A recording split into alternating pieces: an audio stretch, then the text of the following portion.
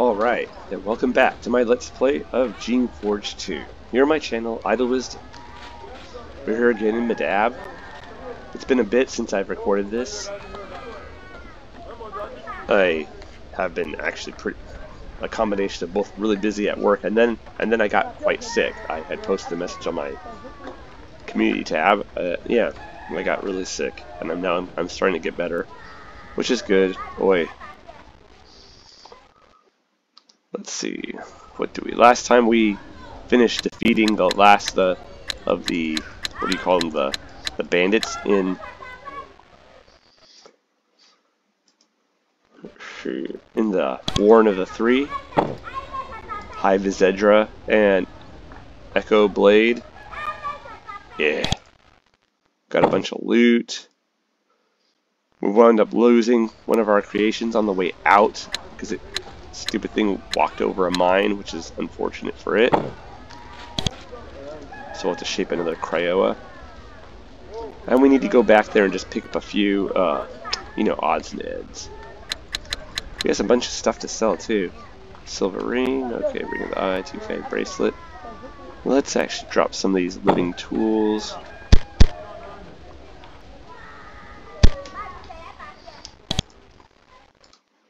Alright, cool. Alright, let's go. Um, let's put on the, no, not really, two fang bracelet. And let's go to shape. Cryoa. Plus two points of intelligence. Maybe I should give it three, because last one was pretty stupid. Alrighty, there we are. Put our gloves back on. Now, we have another cryo. I don't know what we're going to call this one. We'll fi figure it out. See if it lasts more than two seconds. We have a bunch of stuff to do here in Medab before we go. We need to go back to the Warren of the Three. There's still some stuff to pick up on the ground. We were out of carry space entirely. Not just carry weight, but carry space. So let's sell the shaper equipment we got. Bamsis, son. 30 coins for, I think we had five of them, so that's a hundred, a quick 150 coins. Not bad at all. Let's go up here. Is this the Medab? No, that's Zion, the alchemist. Yes, Medab merchant. Let's sell. They have some money, so let's sell this silver ring. A jeweled wand. Discipline wand.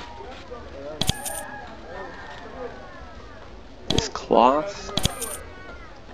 This golden goblet. Oh yeah. Alright, we have an emerald. We can sell it to Hawk. We can sell it to this guy too, but like I said. But that's cool. Alright, good deal.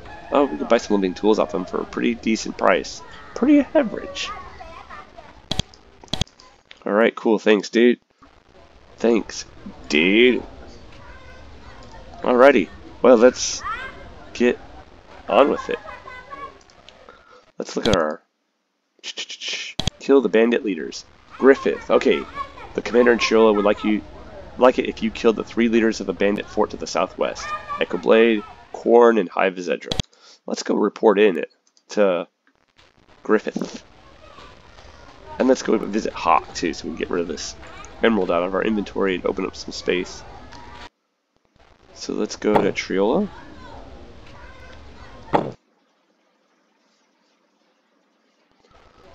And I think Griffith is right here. So let's make our way down here. Commander Griffith, we did some work for you. Did your dirty work. Alright. Oh, I guess we could have reported it in bit by bit. I have killed Echo Blade. I'm glad to hear it. The way can say we should pay for any help we get, so here. He hands you a pouch of coins. I have killed Corn. One less crazy servile in the world, glad to hear it. The way can say we should pay for any help we get, so here. Heavy pouch of coins. I have killed the Zedra. That is very good news. The Zedra was the nastiest and smartest of the lot. I didn't think I'd hear of her death anytime soon, and he leaves and returns with a belt. This is shaper work, worthy garb for a warrior. He hands it to you. That should be it. Those miserable brigands aren't a problem anymore, and that will make it much easier to defend this miserable little town. Alrighty. Well, thanks, dude. And we got a level, too. And we got... Okay, cool. What did we get? A shaped belt. We have the Girdle of Insight. That's a, a decent belt. We maybe will get to use it for some recipe that somebody somebody needs give us, make us a new, uh, a high-powered item. Who knows? Who knows? But that's good. Cool. So now let's go to Fort Muck. Because we need to find, what's his face? Hawk. Not Hawk the Slayer, but just Hawk, the merchant. The fleet-footed gem merchant. Ah, here you are. Sell emeralds. Emeralds! There's 80 more coins. Alrighty. Cool.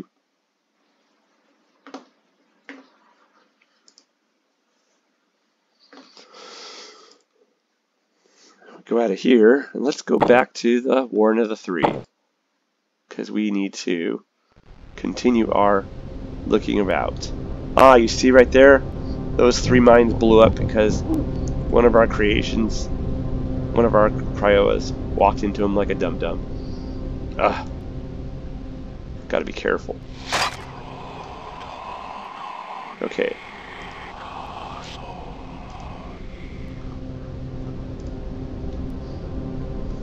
Alrighty. So here we are. We had some stuff over here that we had dropped. Let's see, let's take the mine crystal. Yeah. Wild adventure, we'll take it, I guess. I don't think it's very important. Of course, what's his face? What's his name? Xander, that's right. Xander's like, what are you talking about? That book is great. It's about wild adventure. Like what we're having. I guess so. I guess so. Jeez. So this is the area where Korn, the priest, was. We defeated him first. But then we didn't explore the rest of this area. I think the altar was nothing magical. Yeah, exactly. But what's over here? Hmm. Some cupboards. Some money. Just a tunic. Oh, some healing spores. Some useless tools. Uh, some curing spores, those are always good. Iron sword, it'll take that. Venom thorns, yeah. Icy crystals. Yeah, we'll take them. For now. Alright, there's a couple more ways to go. Let's actually save. But yeah, oh man, was I sick. It's horrible. My chest still kind of hurts from coffee. Still kind of like ugh, stuffy. Ooh, a, a, prisoner was left in this cell to starve. That's pleasant. What a bunch of jerks.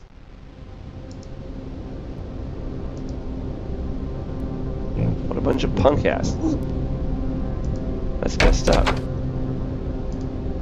Uh-oh. Oh, that's right. Okay, we have another... Hmm. Conundrum time conundrum time. This is another one of the... Let's talk to him. A huge roamer. There's a huge roamer in this cell. The floor is littered with bones of its food. It has been imprisoned here by the cultists, awaiting some unpleasant fate. The creature has already been repeatedly whipped and burnt. What the hell? The imprisonment has broken the creature's spirit. When you enter, it walks shyly up to you. It rubs its massive leathery head, leathery head against your hand. Then it looks up at you. The Shapers have spent many years breeding mindless obedience to your kind into these creatures. At this moment, you're very happy about it. Jeez Louise. Alright, well, my stupid computer booted me out of my game just so it could tell is so just so it could tell me that I could protect two more devices using my you know, security software. It's like, the hell are you doing interrupting me, fool? Anyways, just kidding. Well, no, not really. That's, that's annoying. But fortunately, it didn't cancel the recording. It stopped it, but it, the recording was okay. So, so we can say, why have the serviles imprisoned you here, Roamer? Or, poor thing, let me put you out of your misery. Or, Roamer, come with me and serve me. I will protect you. Try to get the roamer to go free or leave it alone. Now, this is one of the companion creatures. We could take it with us. The good thing about this one is that it's ranged. AI roamers are a lot better than, um, what do you call it? I think. You know, player controlled roamers. Should we take it? I mean, maybe Lucian feels sorry for it. He and Xander are like, oh man, this sucks. Why have they imprisoned you here, Roamer? Roamers are loyal and fierce but they're not smart. It just looks up it looks up at you baffled. Oh, poor he's like been abused. And he's so abused that he's his spirit's been broken, but because he's been he's a he's a good roamer, he's still friendly to the shapers. Let's see. Why don't you come with me and serve me? I'll protect you. I'll probably regret this, but let's try it. Though it doesn't understand your words, the meaning of your movements is clear. It starts to follow you, reaches the door of its cell and then stops. It is terrified of leaving, afraid of what will happen to it out there. Fortunately, you are very commanding. You manage to coax it out of the cell, and it joins you. Yay! Alrighty. Well, there we go. Huge roamer. It's level 20.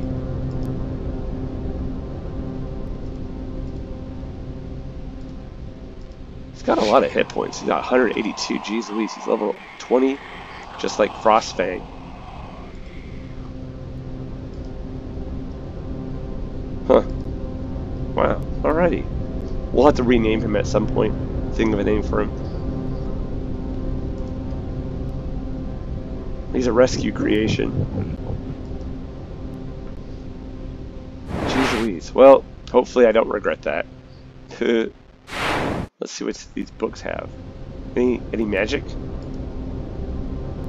This book contains a huge list of chants, mantras, and songs, meant to be muttered by the serviles for hours and hours straight. They are all scrawled here in a crude, barely literate hand. It's fascinating stuff. Somehow, some of the servile cultists manage to stumble on a way of teaching themselves magic. This involves crushing this uh, it involves this crushing litany of meditative and focusing devices. Apparently the Serviles can learn magic without any sort of shaping or alteration. They merely have to drive themselves mad to do it. It's an old spellbook. Uh-oh. It's stained and worn and shows signs of being carried a long way, and you flip through it quickly and learn what you can from it. The spell it describes is powerful and simple. You learn a lot about the terror spell. Uh-oh. Oh no, we got terror level 3. Excellent. You remember, you can't purchase level 3, so you learn level 1 or 2 from a trainer or from a book like this, you'll never be able to get to the third level in this game by purchase. Because of a, a glitch in this game. But you know, whatever, that doesn't matter because we got it. Level 3 there. Level 3 of terror overwhelms a single unit, a single enemy with fear. It will run away for a short time. Excellent. That's cool.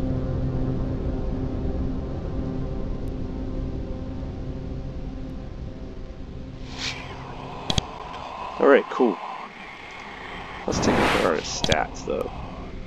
We have six points. what to do?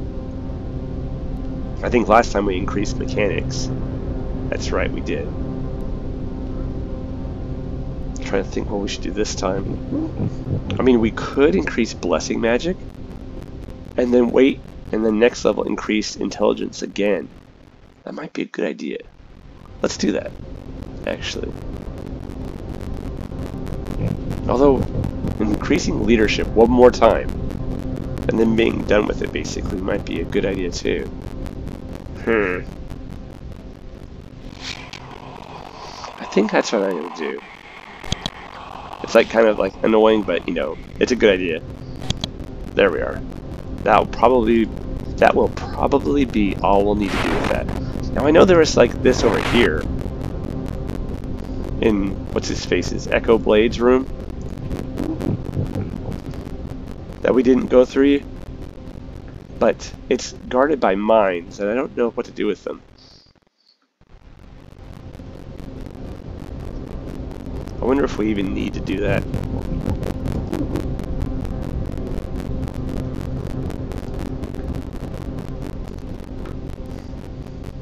Hmm. Let's just go right here first. We will save our game right quick. Right quick. And then go on. We now have a full party.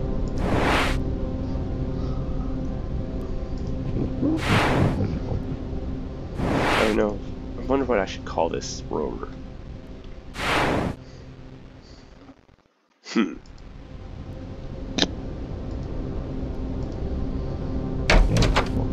Alright. Oh yeah, that's right, there was a... What is it called? Uh, uh, canister in here. Oh, we're not taking canisters. We're not canister junkies. Alright, let's see. He has 214 hit points. I'm gonna save the game again. I'm gonna be like, okay, so Xander, buddy. You and I are the only rational creatures here. That means you and I are the only ones who can responsibly. That's battle magic. Let's do Essence Shield on Xander. Essence Shield on Lucian. Now let's have Lucian move away. Now let's actually... I'm going to try seeing if Xander can survive touching a mine while he's boosted up and what have you.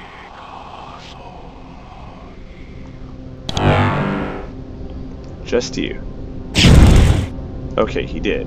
So, now let's heal him up. You and I are the only ones who... It's not good to send creations, normal creations, to do this, because... Very good. Great work, buddy. Because, see, he has 214 hit points. Lucian, on the other hand, let's see, has 29. So, not very good. But we could put a shield, you know, power him up so that he was not barely affected. He's barely affected by those mines. That's great. So let's actually save again. Thanks a lot, partner. He's like, yeah. Let us... Actually, let's bring everybody in case there's some bad guys right around the corner. Oh, geez. There's another mine. Right there. Alright, let's... Alright, Xander. Just take it like a servile. that sounds terrible. Sorry. He's like, I'm good, I'm good. Alright, let's see what we got. 250 coins, that's pretty good. Ooh, seven gemstones. That's nice. And, oh my gosh, five emeralds. Man, that was a freaking treasure trove. A veritable treasure trove. Well, thanks, Xander. You are definitely the MVP right now. There, he's all healed up. So now, we can leave this stupid place and never come back ought to be careful that we don't have a repeat of last time and have one of our creations run over that minefield right here. So let's just right here. Everybody, this way.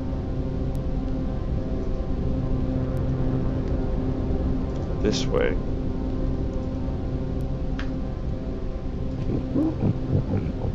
Alrighty. Very good. So let's go back to what? Fort Muck? Yes. Since we just got a bunch of gemstones. And emeralds. Which are gemstones, but you know. They are specifically emeralds. Hawk, we like literally scored. He's like, alrighty, 20 coins each. He's like, oh yeah. 80 coins each. So we just made a ton of money. Let's go see if we can find Squeakers and say hi. We have some food for him. Oh, there he is.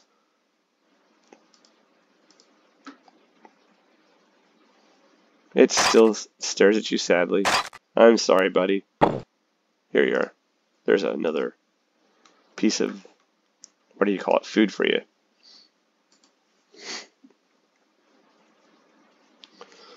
So now let's go back to Medab. We are now done with the Warren of the Three. Excellent. So now we can go and sell some of this stuff that we got. Some of it's just garbage. Some of it's good. Let's see what there's the, the, smithy. Anything that can we sell? Still here, or have we used up all their money? And they have a little bit. Here, let's sell this iron sword. Shape belt, we'll keep the shape belt for now. Nine Chris, I don't remember if that's worth anything. Wild Adventure, I cannot remember. We'll just keep these gems for now. Unless, yeah, I don't know. For now. No, we're good, dude. Thanks. We'll drop Wild Adventure and the Shape Belt off at our on our pad.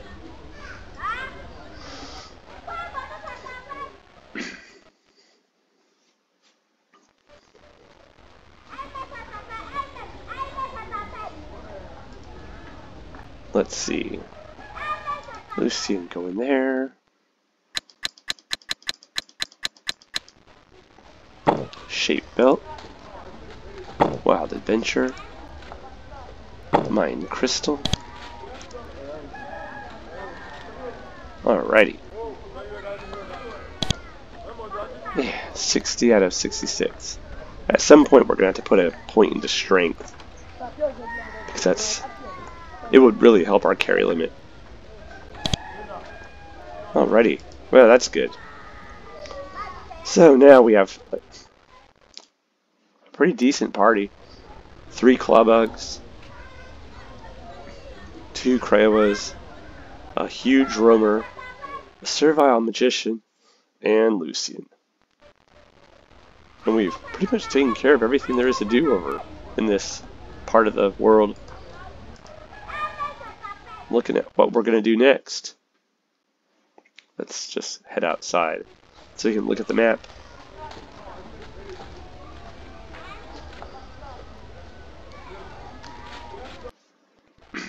yeah, we've pretty much taken care of everything.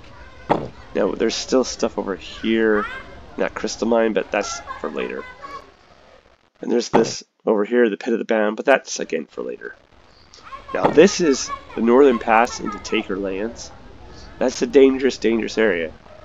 Here's the Crystal Caverns over in the Dry Peak area, and that's it, where that Mad Drake, uh, Cryo Drake was. There's also Clawbug Canyon, and the Experimental Valley. This is heading towards Barzite lands. This is a very these are dangerous areas as well, but I think this is more where we're probably needing to go. We might want to stop by Sharon's Grove. See if we can't do another round of her gauntlet, but I don't think we probably can actually. That's a pretty dangerous encounter, the next one. Hmm. I think we'll actually just chill for today. Next time we will head to either the Experimental Valley or Clawbug Canyon. Both of those are dangerous in their own way.